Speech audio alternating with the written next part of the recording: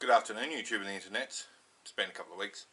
Uh, nothing really exciting happening just at the moment, uh, but I am about to just double check these other two cranks like I said I would to see if they are slightly better than the, the one I think I want to use. Uh, I'm just going to measure them up real quick and I'll let you know the results. I don't think I need to show you how to use the mics. I've done that in my last video on the RB so if you're wondering how to use a mic to measure the crank watch that.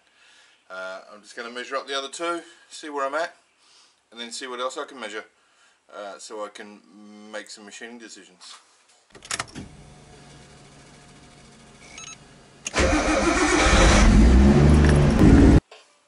So I've just quickly measured this crank which is probably out of shot it's the one that came out of the engine that had the knock.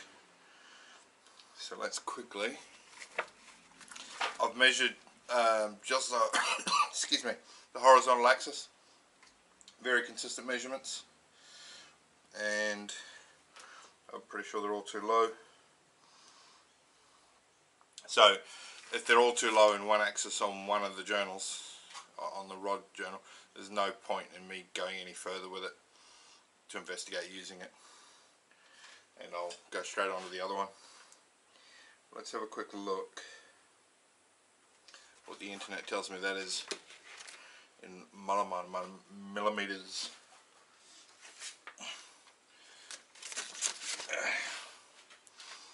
Scorch S15. It's the last thing I looked at. Okay. 8831 inches millimeters, please Google.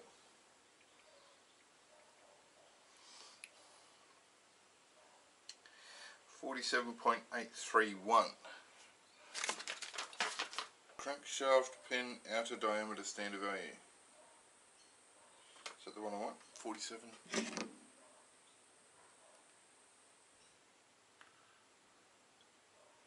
Yep. So that diameter on the rods needs to be 47.961 to 47.974 millimeters. The most common is 47.831 which is straight up too small. So this crank look, it could be used in conjunction with bigger bearings. It's not, it's not uh, beyond salvaging. Um, but like I said in the past, I'd rather take the biggest crank I've got and wide it down to what I want rather than take a crank that's already undersized that I can't choose the size of because there's nothing to take off. Uh, so I'll grab this crank now, stick it up on the bench and have a measure so that confirms the spot measurements. I took a couple. That's pretty much what it was. The smallest one is uh, 1.8829 inches. Uh, I'll let you do the maths on that, but that's even smaller. That's the smallest one. The biggest measurement is 833, which I think is still going to be under. So even the biggest one's already under. Which backs up my theory that this crank had already been ground polished. It's probably for the previous build and they just put standard bearings in it. Had they not have done that, had they put the correctly sized bearings in it, I'd still be running that engine. Uh, there's nothing else that's gone wrong with it. I'm pretty sure. So I think I just got the the rod knock when it was very faint and very early, um, as demonstrated by the damage on the on the uh, rod bearings. They're not spun, but they are all damaged. There's scoring in them, and there's you know, some pieces missing out of the faces on a couple as well. So I'll grab this other crank, measure it. Let's see if we can get past one set of measurements before bidding this one.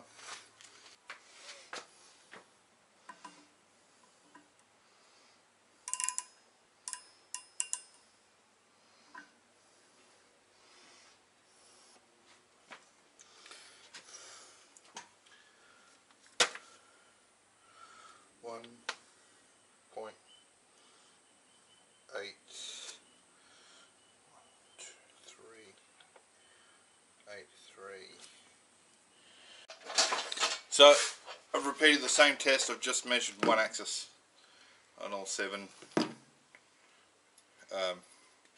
main journals. And now I'll quickly convert these. These are thicker than the one I just checked. But I don't think, I still don't think they're in spec. Uh, so 1.8835 mostly. 47.8 409 versus a desired outcome.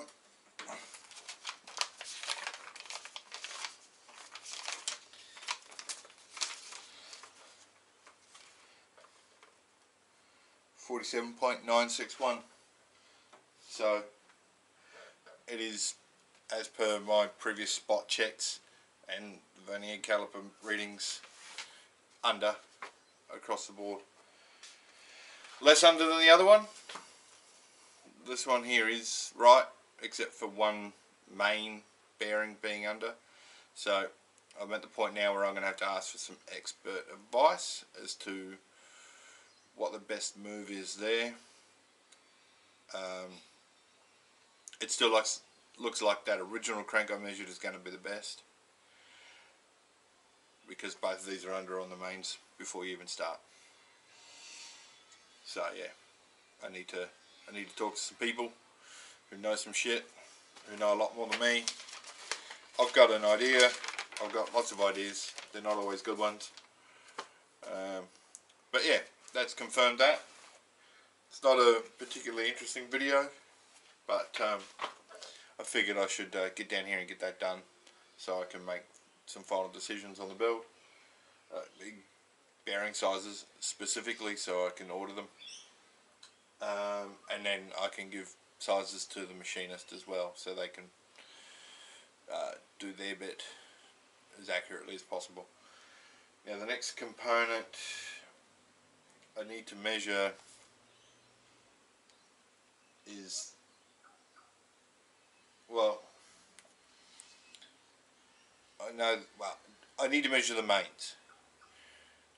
But they are like the like the right end. On here the, they don't move. So the friction material takes up all the wear on those. So they should all be the same and they should all be right. So it, should be just be a case of a quick check. Uh, measure the bores. So I've got my tool for that I've got the battery for it I wanted to do it the other day and then realised it didn't come with a battery it's a digital gauge like I'll grab it. Voila. So I have to figure out how to set that one up.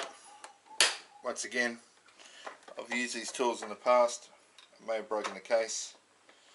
No, all good. Um, but it's been a long time since I've used a bore gauge.